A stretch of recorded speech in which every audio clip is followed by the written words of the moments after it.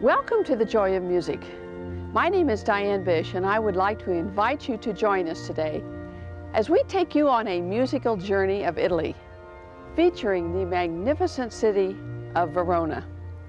From its great arena to ancient bell towers and ornate churches, from the picturesque bends in the Adige River to famous museums and works of art, all this and more we find here in Verona. Our music today comes from the shrine of St. Teresa del Bambino Gesù, featuring the great Ruffatti organ. Thank you for joining us.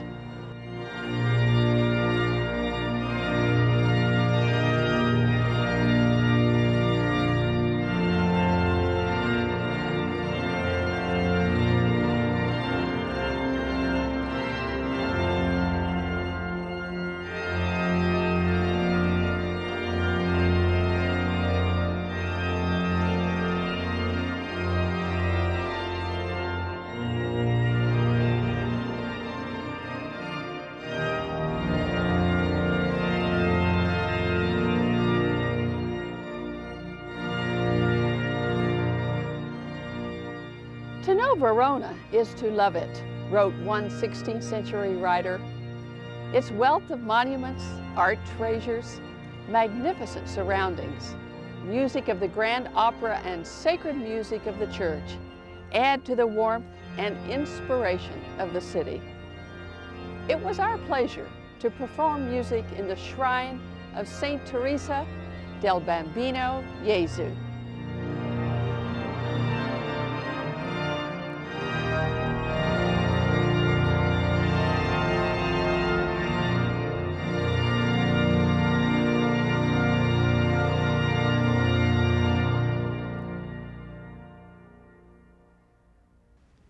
On the outskirts of Verona, we visit the shrine of St. Teresa of the Baby Jesus.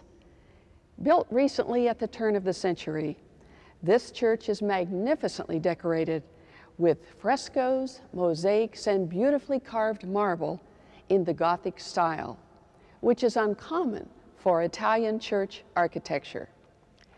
The sanctuary on the main altar features onyx columns and a crucifixion scene made entirely of precious stones. Above the altar is a carving made from one piece of wood by a sculptor who lived in the Dolomite Mountains. Also of special interest is the Nativity delicately carved from a single piece of white marble.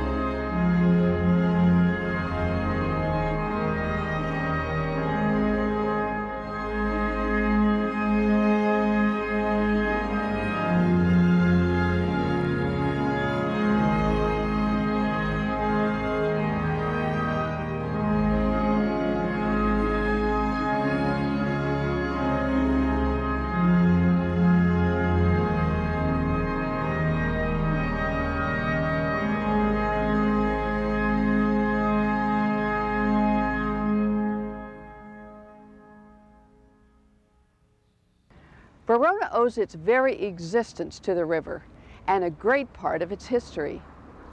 The Adige is at the end of every street. It is impossible to imagine Verona without its river, without the bends in its river, without the famous Ponte Castelvecchia and the beautiful Ponte Pietra.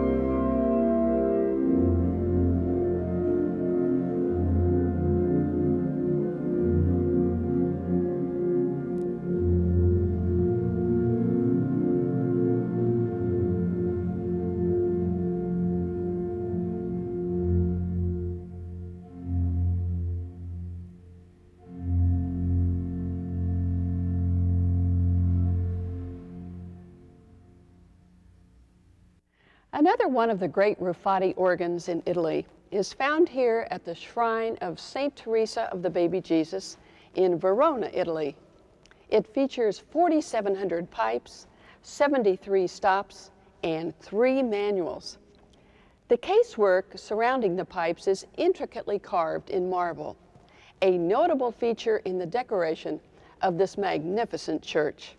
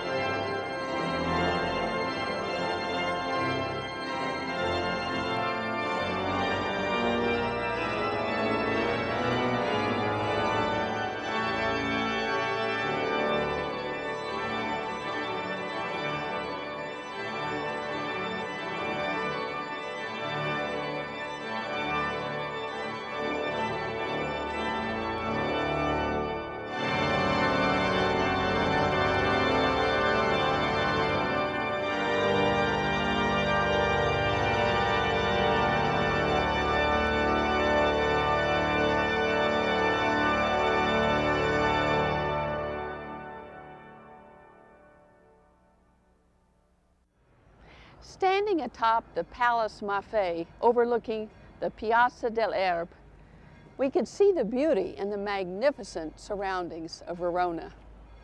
Verona is cradled by the gentle hills of the northern Italian countryside. The setting for Shakespeare's moving and tragic play, Romeo and Juliet. The city is loved and adored by romantics all over the world.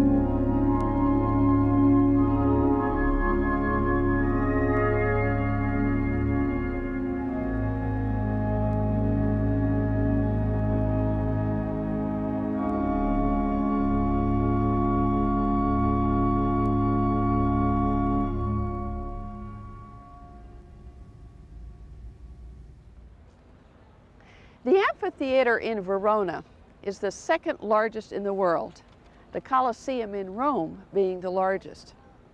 This arena dates back to the first century, and although there is no evidence that Christians were put to death here, the amphitheater, which holds 20,000 people, has been the center of entertainment from the Roman Games to grand opera to athletic competitions throughout hundreds of years.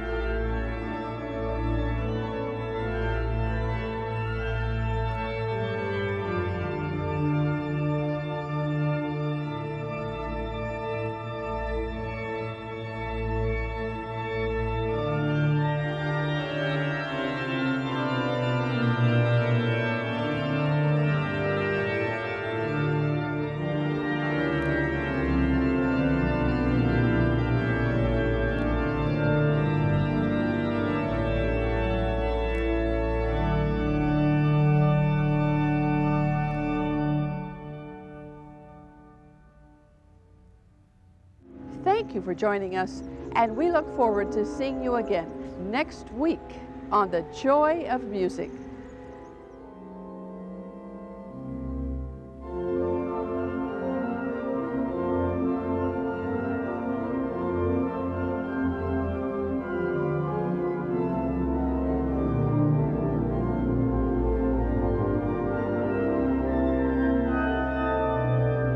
Thank you for joining us today on The Joy of Music.